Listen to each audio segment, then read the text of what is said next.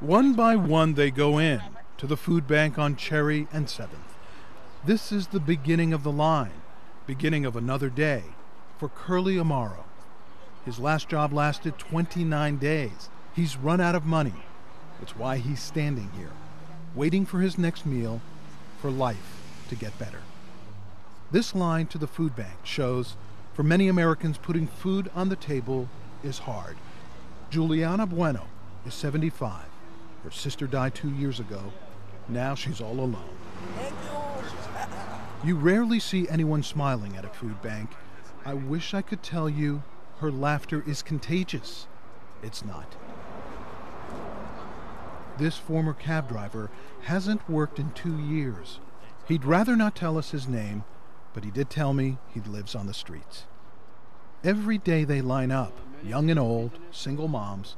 They know that today Northwest Harvest will be serving turkey to go with the rice and beans, bread and pasta. This is Tony Webb.